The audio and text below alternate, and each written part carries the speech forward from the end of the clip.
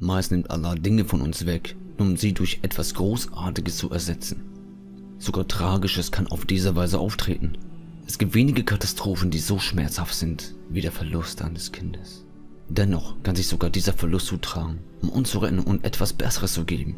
Der Gesandte Allahs sallallahu wasallam sagte, wenn das Kind eines Dieners von Allah stirbt, so fragt Allah die Engel. Habt ihr das Kind meines Dieners genommen? Die Engel antworten ja. So dann fragt Allah sie, habt ihr die Furcht seines Herzens genommen? Die Engel antworten ja. Dann fragt Allah sie, was hat mein Diener gesagt? Sie antworten, er pries dich und sagte, zu Allah ist die Rückkehr. Daraufhin wird Allah sagen, baut ein Haus für meinen Diener im Paradies und nennt es Haus der Dankbarkeit. Und was einige nicht bedenken, es ist besser für dein Kind, als ein Kind zu sterben und ewig ins Paradies lebt, als dass er als ein ungläubiger Erwachsener stirbt und dafür ewig in die Hölle landet. Wenn Allah etwas so Geliebtes wie ein Kind von uns nimmt, kann es sein, dass er es genommen hat, um uns und ihn etwas Besseres zu geben. Es kann sein, dass wir aufgrund dieses Verlustes ins Paradies aufgenommen werden. Ein ewiges Leben mit unserem Kind.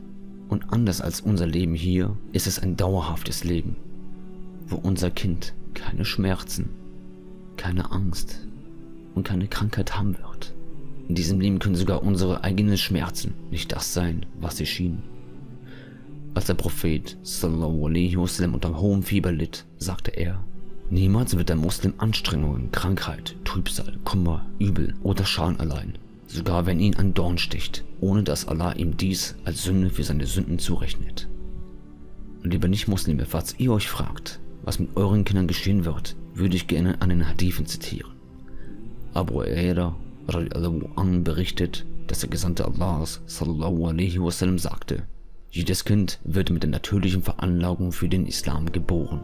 Liebe Muslime und Nicht-Muslime, wieso trauert ihr so um eure Kinder? Denen geht es gut. Sie sind im Paradies und dort gibt es keinen Tod, Leid, Hunger oder Schmerz. Aber was mit euch? Hört ihr denn nicht den Schrei eurer Seele, dass sie im Abgrund ist? Indem ihr wegen dem Verlust angefangen habt, an Allah zu zweifeln oder schlimmer noch, aufgehört habt, an ihn zu glauben. Eure Kinder sind trauriger um euch als ihr über sie. Eure Kinder wissen, dass sie ins Paradies sind, ob muslimisch oder nicht muslimisch. Die Kinder möchten die Eltern wieder treffen. In einer Welt, wo es kein Tod, Krankheit, Armut und Schmerz existiert. Habt Geduld in so einer schweren Zeit, denn der Geduld führt euch ins Ziel.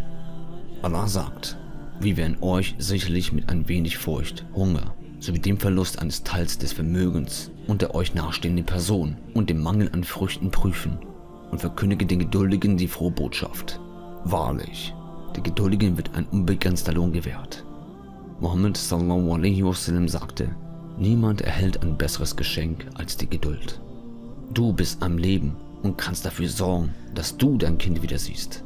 Allah schenkt dein Kind das Paradies möchte es dir auch schenken. Ob du dieses Geschenk nun annehmen willst oder ablehnst, ist deine Entscheidung. Möge Subhanahu wa ta'ala uns in seiner so einer harten Prüfung, uns und unseren Kindern ein Wiederzusammentreffen ins Paradies ermöglichen. Möge Subhanahu wa ta'ala, Allah Azawajal, uns Standhaftigkeit geben, Sabre, Taqwa, uns von unseren Fehlern bereinigen. Oh, liebe Geschwister im Islam, sagt jetzt mit euren Worten oder mit euren Herzen.